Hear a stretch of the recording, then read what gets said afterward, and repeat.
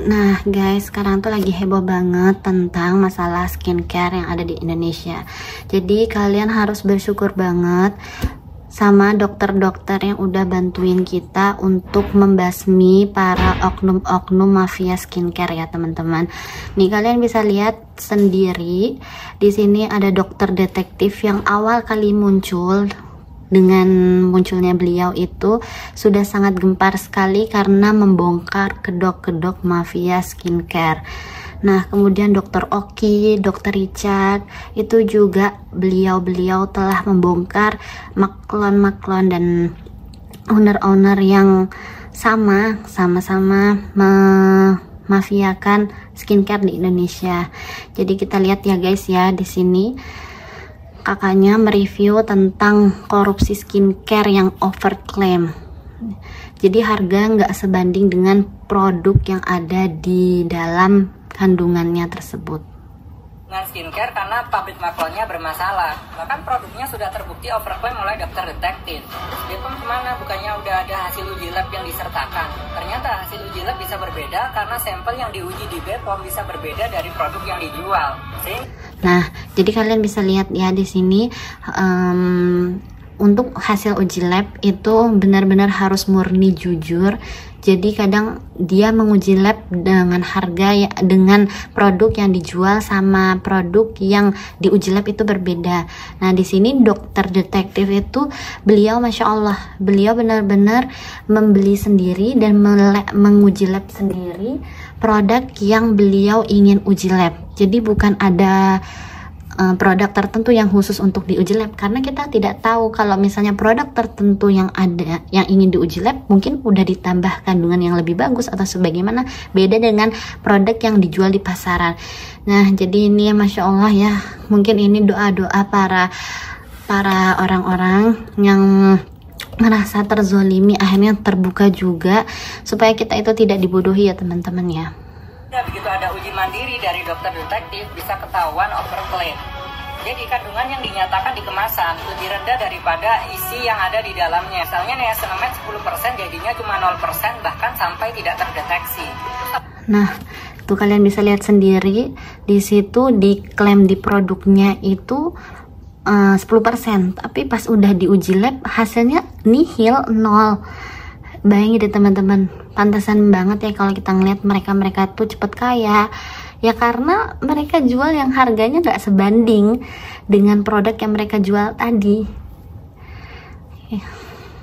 apa nggak ada respon dari ownernya ownernya hanya percaya uji lab dari Maklon dan tidak percaya uji lab dari luar. Bahkan owner sudah melakukan effort untuk melakukan uji efektivitas produk di luar dari uji kandungan. Dan terbukti kalau produk itu bisa mencerahkan. Masalahnya ini semakin jadi dugaan kuat kalau efek mencerahkan dari produk itu bukan berasal dari niacinamide tapi dari hidroquinon zat yang berbahaya. Seperti yang dibuktikan oleh Dr. Richard Lee. Hidroquinon ini Nah, di sini juga ada uh, efek samping penggunaan hidroquinon yang jangka panjang.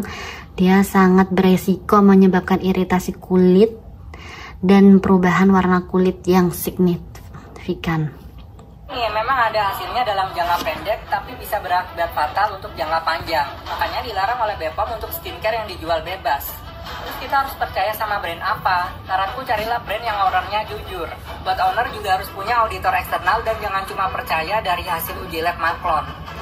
Nah, jadi buat kita yang ingin punya produk sendiri atau mau percaya produk skincare apa yang harus kita pakai, kita harus benar-benar uh, perhatian banget ya teman-teman ya.